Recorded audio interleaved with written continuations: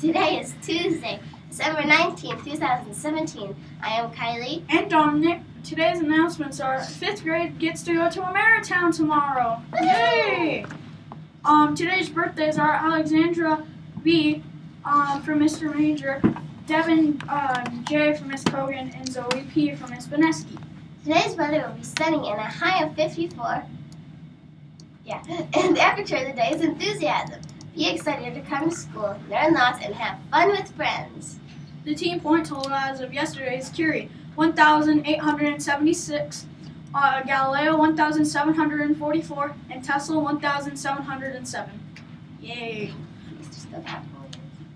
The joke of the day is, what do you call Santa when he's not moving? What? Santa pause. Ha ha ha ha. Santa Claus, Santa pauses. Yeah, alright. The fact of the day from JoJo is. So in 1976, the Winter Olympics were supposed to be held in Colorado, but at the last minute, voters said no. To be precise, I mean to be exact, it was 62%. And usually the reason why they said that is due to the population bloom and the pollution that they would get after the Winter Olympics. Oh, okay. Oh, Our promise. At CT, we promise to prepare our students to navigate and translate their language to solve real world problems.